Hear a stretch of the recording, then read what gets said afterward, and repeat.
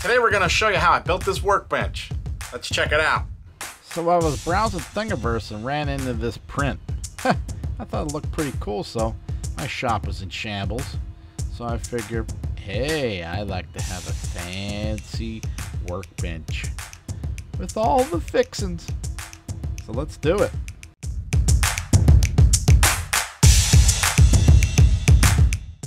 Of course, like a dummy, I forgot to record the first part. So, I'll show you how I did the second part. And I promise no more wood cutting. That was the only footage you will see in this video. So it's pretty much a, a, a big time lapse. Just me kind of throwing it all together. And I'm, uh, I'm a screw kind of guy. I like to screw everything together because I mess up a lot. So this is all I got done today. I cut all the parts down and built the legs. Uh, then I was playing around here to to see what size I needed and how far down I needed to go. Uh, but this actually went together really easy. Um, the instructions and on that picture were enough to kind of get going.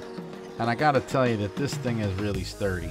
And another trick is, you see all those Irwin clamps that I have there? I use them to hold up all the wood and hold pieces together tightly, keep them straight. That way I could screw it in nicely. See? On all these shots, you'll see me using some type of clamp. I'm holding it right there, so I could hold it level, everything in place. Try it out. Here it is without um, any tops or anything like that. So that's where the table saw used to be, so I'm going to be reclaiming that area. And it's going into the shop! Look at the nice little roll around. They're all locked in.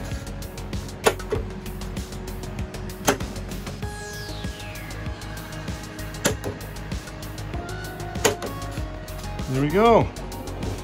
And then when it's not in use, uh, put it out of the way. Yay! I eventually want to get some type of clamps or something under here. And it's nice I got some storage.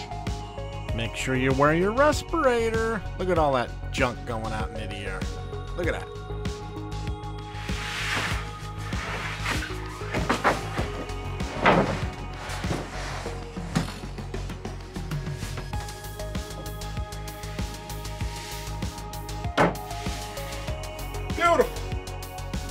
For the tops, I use 3 quarter MDF.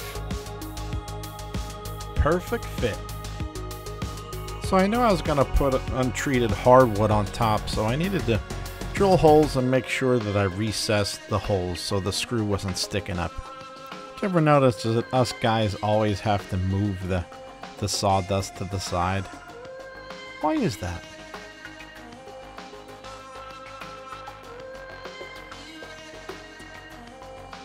Okay, here we go. I got the top on. Still kind of a mess. I didn't glue it on yet. I didn't glue this part on yet. But, uh, oh yeah, that reminds me I need to cut a little, a little spot for, for the saw there. For there, and then I could mount that to it. Oh, I also did these lights.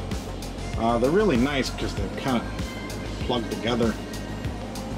So you could come over here and you could kill the one light by the switch and you'll kill them all.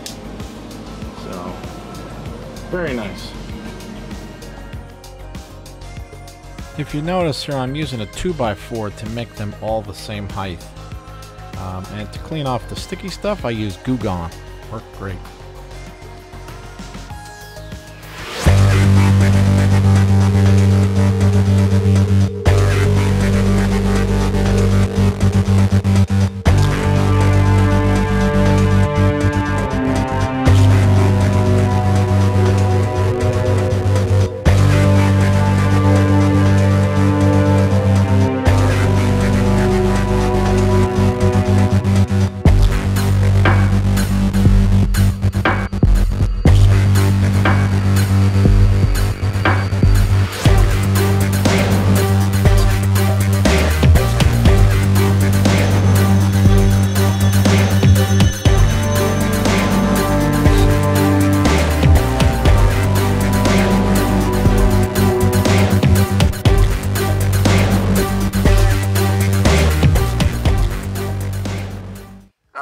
Everybody. Thanks for tuning in. Next episode is probably going to be a Star Wars prop of some kind. I, I've been printing them out, printing them out. I don't let them stop.